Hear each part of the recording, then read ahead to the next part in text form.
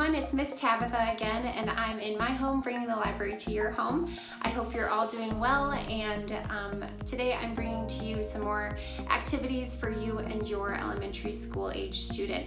So uh, earlier this week we did a Star Wars Day Build Challenge, and today I have a doodle challenge for you.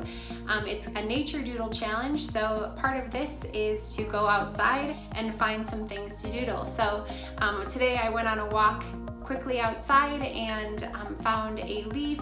Um, I found some um, herbs in my backyard. I found some flowers and I even found a stick. So I gathered those on my walk, put them in my pocket and brought them back home um, to do these doodles. So the supplies that I used, I used markers and I used colored pencils and um, I even used watercolors. You can also just use a paper and pencil. Um, so there's lots of different options for this for this activity. Um, if you want, you can um, even check out some books from the library. We now have Drive Up available to everybody. So if you want to put some books on hold, you can pick them up at the drive-through window, some physical books.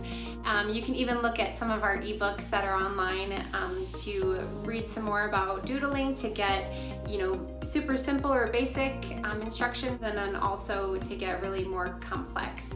So you'll see um, a quick video of my doodles and I hope that you enjoy watching that.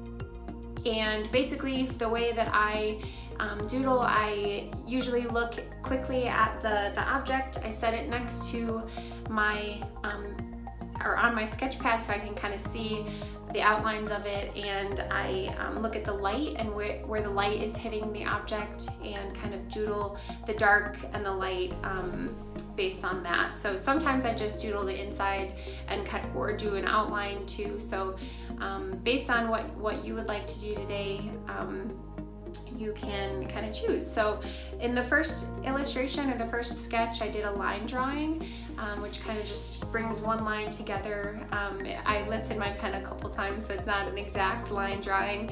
And then I also did a watercolor of it and a colored pencil so you can see the two, the three different variations of the sketches. Um, so I hope you enjoy and I hope you're challenged to do something creative with the things that you find on your walk.